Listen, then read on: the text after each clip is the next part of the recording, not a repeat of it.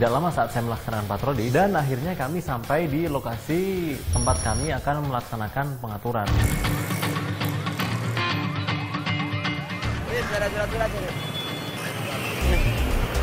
Ini kenapa anak sekolah pakai motor? Terusnya nggak boleh kan naik motor? Masa jalanan gede kayak gini kamu nggak pakai helm? Lewat dalam. Berarti SIM belum punya ya umurnya berapa? 16 setengah. 16 setengah. Kamu saya tilang ya. Surat biru. Oke. Kamu tahu nggak bedanya surat biru sama merah?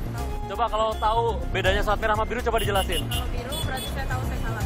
Hmm. Saya ngakuin saya salah. Kalau merah saya bersedia ke pengadilan kalau saya buat kalau saya nggak salah. Dengan lantangnya dia minta slip biru. Namun sudah tetap menjadi kewajiban kami memberikan informasi. Oke, kalau surat biru itu kamu dapatnya denda maksimal ya. Ngerti? Tapi kalau kamu ambil yang belangko merah, bisa dapat dendanya di bawah itu. Kalau kalau maksimal bro. Maksimalnya kalau kamu ngambil biru itu denda maksimalnya satu juta. Tapi kalau kamu ngambil merah bisa di bawah itu. Nih, tidak memiliki SIM. Denda maksimalnya satu juta. Ini kalau kamu ambil biru, kita centang denda maksimalnya. Tapi kalau kamu ambil merah, yang memutuskan nanti hakim di pengadilan bisa aja di bawah ini. Gitu loh. Tapi ya nggak apa-apa kalau nggak Tapi nggak apa-apa, kalau minta biru nggak apa-apa, tetap minta biru nggak apa-apa. Aja. Dan akhirnya dia meminta belangko merah. Ini umurnya berapa? 15. 15. Kenapa ya bawa motor? Enggak saya ada lomba tadi di sini lomba. Terus ini spionnya mana nih kanan kiri nggak ada? Ini belum dicopot, cuma ini nggak bisa diputar di sini. Hah? Kenapa? Di sininya kayak apa? Di mental-mental ke sini mulu. Apa mental-mental ke mana Nah, terus kalau nggak ada spion kayak ini, kamu bisa lihat kendaraan di belakangnya. Harus nengok-nengok kayak gitu. Ya itu, makanya dipasang, bawa ke bengkel. Selain itu, saya juga masih melihat banyak sekali pengendara kendaraan bermotor yang masih melanggar. Ini Pak, dimatikan dulu mesinnya. Kuncinya boleh? Maju.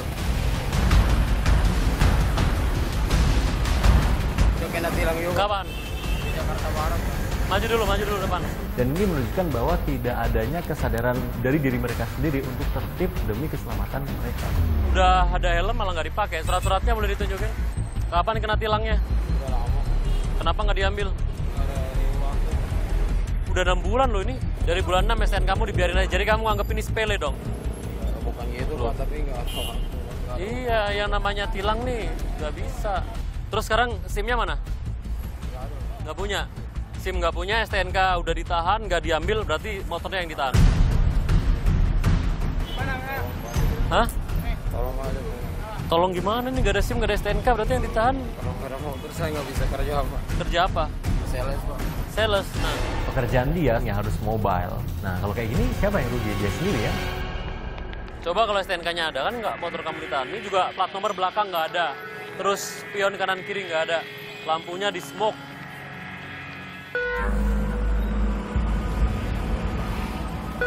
Abang, Jadi siapa? abang, Abang siapa? abang saya. Siapa?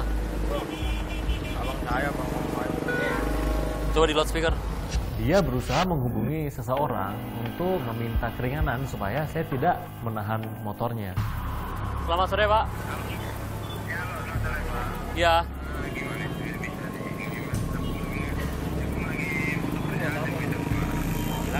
Iya Pak, kami bisa nggak bisa bijaksanai Pak karena kalau misalnya ada SIM atau STNK kita tahan SIM atau STNK. Tapi ini dua-duanya nggak ada, jadi saya harus amankan motornya. Iya, kami nggak bisa ngarang-ngarang Pak jaminan yang lain karena yang ditertera di surat tilang jaminan tuh hanya bisa SIM atau STNK atau kendaraannya. Iya Pak, mohon maaf. Jadi ini nanti sudah kami tilang, tinggal ikut sidang tanggal 4 Desember. Dan ternyata yang ditelepon adalah keluarganya. Saya sampaikan bahwa bagaimana kalau tidak ada SIM dan STNK ya harus motornya yang saya tahan. Ini Mas, nah. Ini kalau kamu nggak pegang ini, motor kamu nggak bisa diambil. Aduh Pak. Loh iya, ini pegang dulu. Ini motornya saya awal Pak. Hah? Saya soalnya nggak bisa Pak. Nah, lah. kalau motornya dibawa, terus yang kami tahan apa? Jaminannya apa? Ya, ini dibawa. Nanti kalau ini nggak dibawa, Dulu Pak. ini nggak dibawa ya. Jadi nanti bapak kalau nggak bisa ngambil motor jangan salahkan saya. Nggak mau bawa? Iya ini bawa. Ini bawa dulu suratnya. Nah.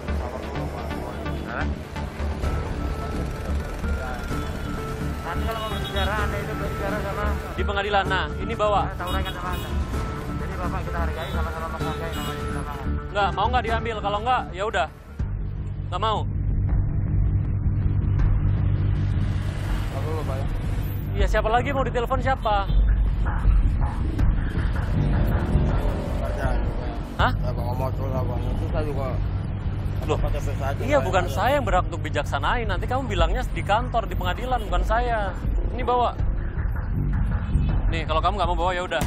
Nanti kamu nggak bisa ambil motor kamu. Bukan masalah mau nggak bawa. Loh, iya makanya ini dibawa dulu. Kamu minta tolong apa sama saya? Saya bisa nolong apa? Saya bisa nolong kalau ada SIM atau STNK.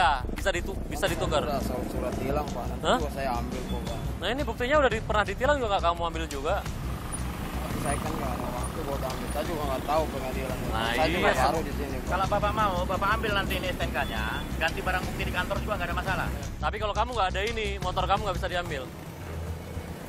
Ini, ini nggak mau megang. Mau nggak mau bilang. Loh, Ya, iya. Ini motor kamu, gantinya ini. Kalau ini kamu nggak ada, nggak bisa ngambil motor. Ngerti nggak? saya ngerti. Tapi bapak tolong lah. Iya, sekarang saya tanya, minta tolong apa sama saya? Apa yang bisa saya tolong apa?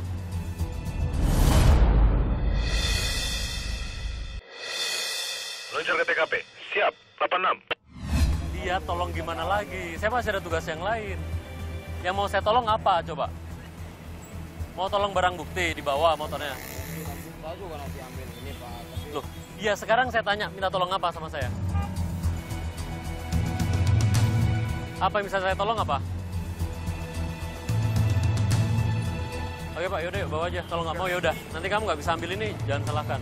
Dan meskipun dia sempat berjuang dengan sekuat tenaga alasan apa pun, namun motornya tetap saya tahan. Udah mas, sekarang pulang percuma kalau di sini nggak akan. saya pulang nggak ada ongkos. Hah? Ya udah ini bawa nih. Pak ini nggak mau dibawa ya udah, biar aja nanti dia biar pusing. Biar aja. Nggak mau ngambil. Biar nanti kamu bingung nggak bisa karena dan kamu nggak ada. Saya cuma uang empat puluh ribu aja. Hah? Ini nggak masalah minta uang. Kamu dikasih tahu nggak ngerti. Eh Ya awalnya saya tetap berusaha untuk memberikan penjelasan secara baik dengan orang ini, namun lama-lama dia mengganggu tugas kami. kamu kalau ngalangin petugas tak kena pasal loh.